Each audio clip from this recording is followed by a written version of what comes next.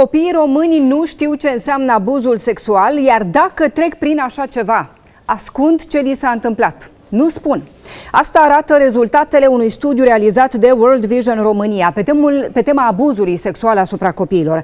Mulți dintre copii nu recunosc unele forme ale abuzului sexual, n-au vorbit sau nu ar vorbi cu un adult despre ce li s-a întâmplat. Unul din șase copii cunosc prieteni sau colegi care au fost abuzați sexual. Vrem detalii. În direct cu noi este doamna Mihaela Nabăr, este director executiv World Vision România. Bună dimineața! Mulțumim foarte mult pentru că sunteți cu noi. Mulțumesc pentru invitație. Peste 1500 de copii au răspuns unui chestionar online. Înțeleg că sunt copii din mai multe județe ale țării plus București. Ce arată cifrele? cifrele Cum sunt datele? Datele sunt extrem de îngrijorătoare.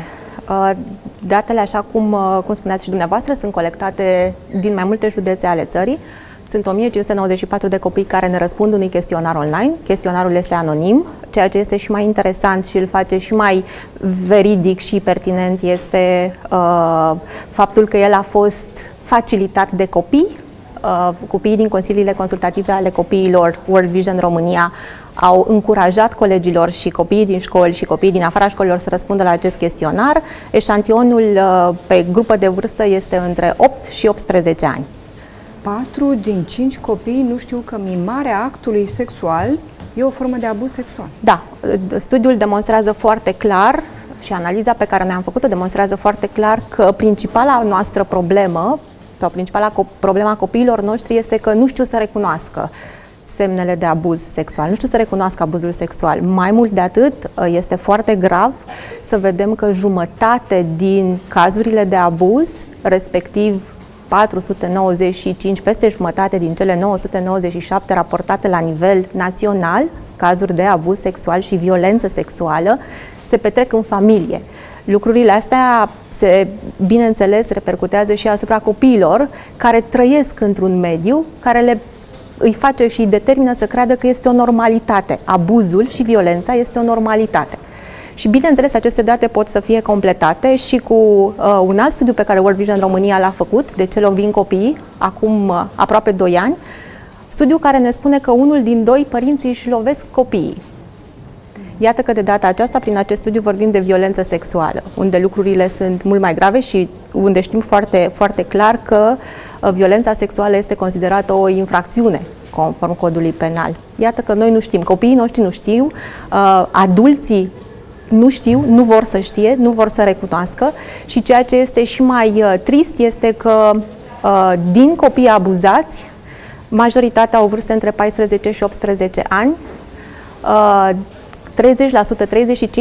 35% de fapt uh, sunt până în 14 ani, ceea ce înseamnă că vorbim de o incidență foarte mare la copii.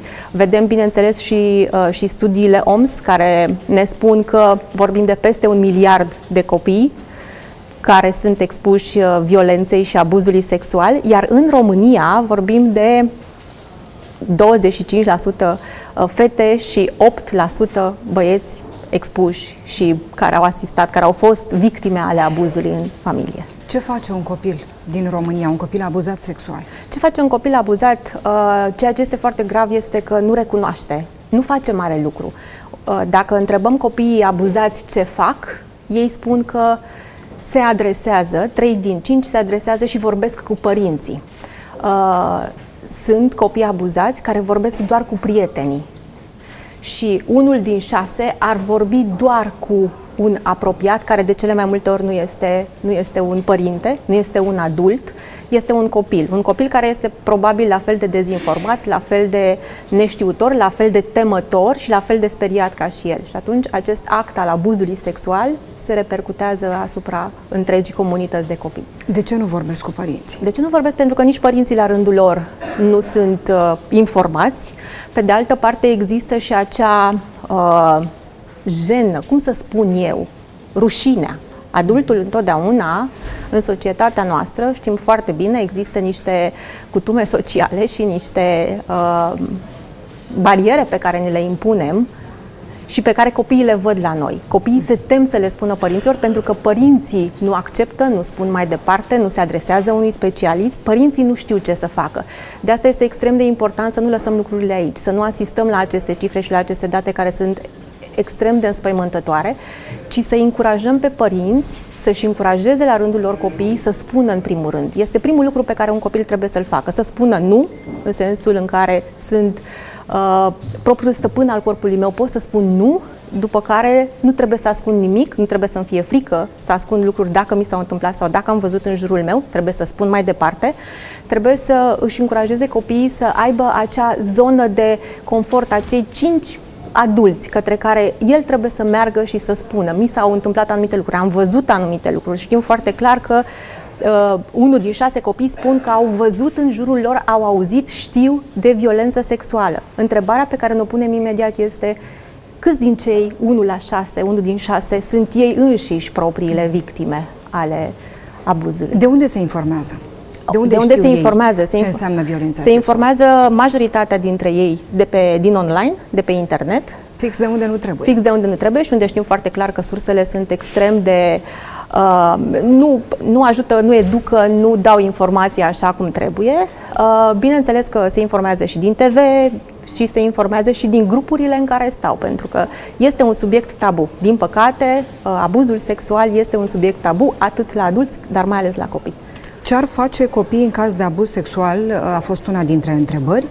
Doar un copil din doi ar suna la poliție, doar trei din cinci copii ar vorbi cu părinții. Da, și asta, oare de ce? Ne-am, ne-am pus întrebarea asta când am văzut și când ne uităm și în comunitățile în, comunitățile în care lucrăm. World Vision România lucrează la nivel național în peste 300 de comunități rurale. De ce o fac? Pentru că nu au încredere. Acesta este și motivul pentru care nu merg să raporteze, nu merg să întrebe și nu întreabă adulții, nu au încredere. Mai mult de atât, unul, doar unul din cinci sună la, la Autoritatea Națională pentru Protecția Copilului. De ce? Pentru că nu au încredere în lucrul acesta. Noi, ca specialiști, noi, ca părinți, trebuie să ne facem copilul să aibă încredere în noi și în cei care știu să răspundă problemelor lor. Un copil din șase cunoaște prieteni sau colegi care au fost abuzați sexual. Peste 80% din copii abuzați au fost fete. Um, ce fac ei, vă spuneam și mai devreme, plus doar un copil din cinci spune doar prietenilor ce îi se întâmplă. E limpede că este un tabu subiectul violenței sexuale în rândul copiilor. N-au informații copiii, nu știu încotro să se ducă, nu știu dacă să le spună sau nu părinților, poate le teamă.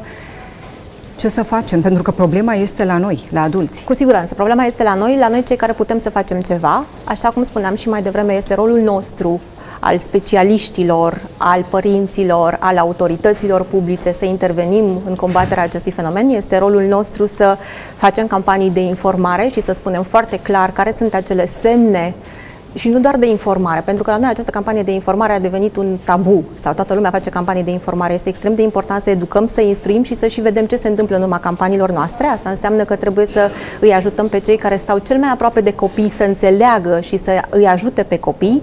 Uh, trebuie să lucrăm cu, cu specialiștii, cu cadrele didactice, cu școlile. Ar trebui și uh, World Vision România va milita și militează pentru introducerea unei teme specifice în curiculul de uh, educație civică a, a, a acestei teme a abuzului sexual, cum îl recunoaștem, ce facem în cazul în care se întâmplă, ce facem în cazul în care vedem că un apropiat al nostru este expus unui astfel de risc și chiar unei, unui abuz.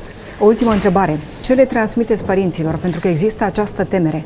Ce fac eu dacă al meu copil mă întreabă la patru ani cum se fac copiii? Cum a ajuns el pe lume? Ce fac? Îi spun adevărul?